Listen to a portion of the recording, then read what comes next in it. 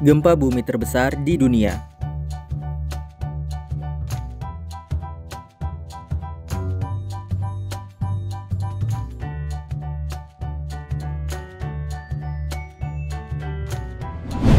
Apakah teman-teman tahu di mana saja gempa bumi terbesar yang pernah terjadi sepanjang sejarah? Senin 6 Februari 2023 lalu terjadi gempa yang mengguncang Turkiye dengan kekuatan magnitudo 7,8. Banyak yang menyebutkan kalau gempa di Turkiye merupakan salah satu yang terbesar dilihat dari banyaknya korban baik itu bangunan maupun jiwa. Kali ini, Bobo akan membahas gempa terbesar yang pernah terjadi sepanjang sejarah. Terjadi di mana saja ya? Terima kasih karena selalu jadi teman setia Bobo. Sebelum lanjut videonya, jangan lupa like, subscribe, dan nyalakan lonceng notifikasinya ya. Pertama, gempa yang terjadi di Chili tahun 1960. Gempa yang terjadi sekitar 63 tahun yang lalu ini memiliki kekuatan yang sangat besar hingga magnitudo 9,5. Dilansir dari Life Science, gempa ini menyebabkan tsunami melintasi Samudra Pasifik dan menewaskan hingga 6.000 orang.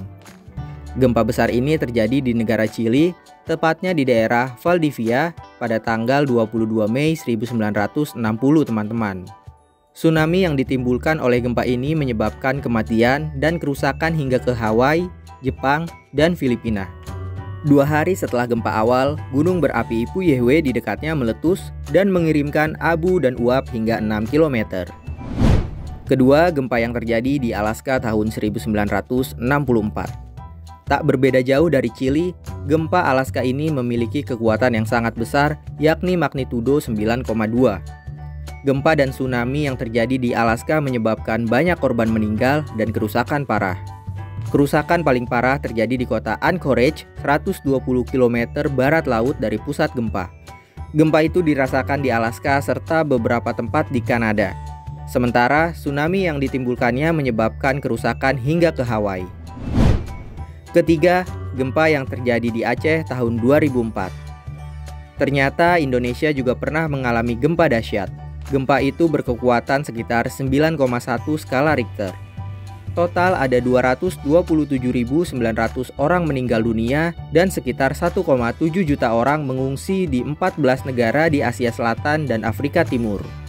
Pusat gempa yang terjadi di Aceh ini berada 250 km tenggara Banda Aceh pada kedalaman 30 km. 4. Gempa yang terjadi di Jepang tahun 2011 Gempa dahsyat di Jepang memiliki kekuatan magnitudo 9,0. Gempa bumi ini juga menimbulkan tsunami hingga banyak memakan korban jiwa. Selain menimbulkan banyak orang meninggal, gempa ini disebutkan memberi dampak yang besar pada sektor ekonomi. Ini karena setelah gempa terjadi, reaktor nuklir ditutup. Padahal reaktor itu banyak diandalkan oleh industri sebagai pembangkit listrik. 5. Gempa yang terjadi di Rusia tahun 1952 Gempa di Kamchatka, Rusia ini berkekuatan magnitudo 9,0. Gempa ini juga menghasilkan tsunami yang memakan ribuan korban jiwa dan kerusakan luas hingga ke Kepulauan Hawaii. Akibatnya, kerusakan parah di semenanjung Kamchatka dan menyebar ke seluruh Pasifik mulai Pulau Midway hingga Teluk Hilo. 6. Gempa yang terjadi di Chili tahun 2010 Termasuk negara rawan gempa, Chili kembali mengalami gempa bumi dahsyat dengan kekuatan magnitudo 8,8.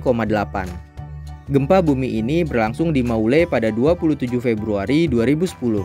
Sama seperti sebelumnya, gempa ini juga menimbulkan tsunami. Pusat gempa yang terjadi di Chili pada 2010 ini berada 335 km barat daya Santiago pada kedalaman 35 km. Dilansir dari kompas.com, ada lebih dari 800.000 orang yang mengungsi dengan total 1,8 juta orang yang terkena dampaknya. 7. Gempa yang terjadi di Ekuador 1906 Gempa di pesisir Ekuador yang terjadi tanggal 31 Januari 1906 juga menjadi salah satu gempa bumi terbesar sepanjang sejarah Gempa yang menyebabkan tsunami dengan magnitudo 8,8 ini bergerak hingga ke utara San Francisco di pantai barat Amerika Serikat, Hawaii, dan Jepang. Diketahui tsunami yang terjadi saat itu memakan waktu sekitar 12 jam untuk melintasi Pasifik ke Hilo, Hawaii.